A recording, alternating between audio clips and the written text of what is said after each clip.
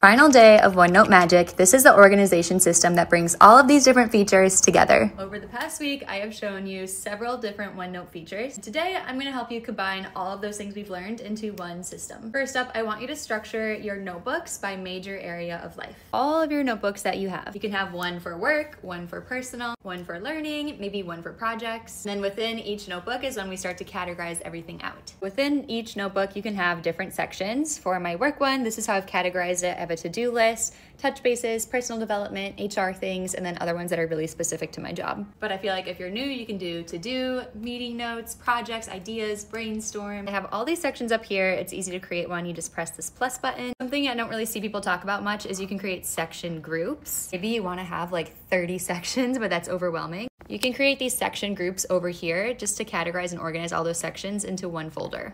And then also color coordinate all of your different sections to whatever works with your brain. For me growing up, I would always make math my red folder for school and biology blue. Kind of same thing here. You can organize your different sections by color. So you can see my personal development is kind of in that same blue color scheme as my HR things. And of course, within each section, you have pages. With pages, this might be your meeting notes that you organize by date. It could also just be organized by person you work with. The beautiful thing about OneNote is everything is completely customizable, so you can make it totally custom based on how your brain works. And to summarize this past week, things you can use are tags and tag summary, templates for consistent layouts, Control E to search for everything, the draw tool for handwritten notes, and Copilot for brainstorming and helping you write professional content. There are just so many more tutorials I want to show within OneNote. These are just the bare minimum basics, but this basic system has completely transformed the way that I work, and I hope that you found it helpful as well. Thank you for following along this seven day series. Let me know what your favorite tip was, what you want to see a further in-depth tutorial of, and as always, follow and comment below of what you want to see next. Hope this helps!